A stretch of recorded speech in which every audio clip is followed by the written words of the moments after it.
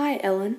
As your dietitian, I will be providing you with appropriate meal plans that fit into the requirements of your sport as a distance runner. This means planning meals around training days that take into consideration the intensity. Hard training days should have increased carbohydrate intake, but easy days should have the required daily intake. Your muscle glycogen stores will therefore be replenished and will help you to train better and recover quicker.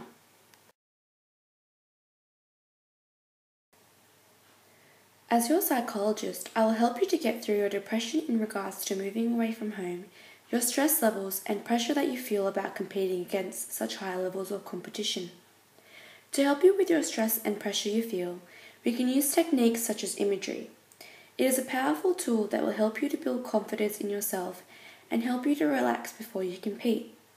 For your depression, we can do some cognitive behavioral therapy, which will look at your negative thinking and try and change them allowing you to understand how your thoughts affect your mood.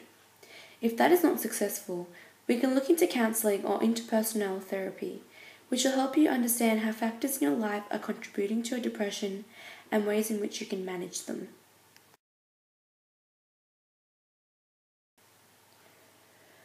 Orthopedists are those health professionals that specialize in injuries of the skeletal system.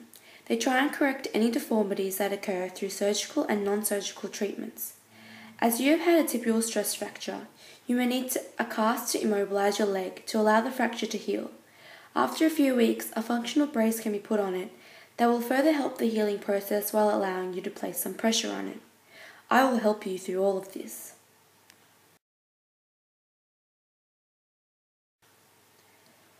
Through your gait analysis, it is seen that you have hyperpronation, which may be a possible factor in your tibial stress fracture.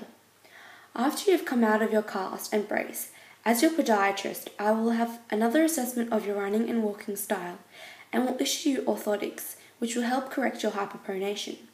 This will therefore prevent further injuries in that area in the future.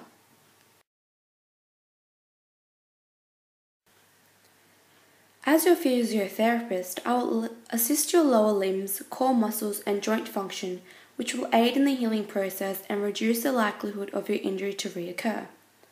This will include sessions with soft tissue massaging around the calf muscles, ultrasounds, how to use your brace crutches properly, and overall exercises to help you improve your strength, balance, and flexibility.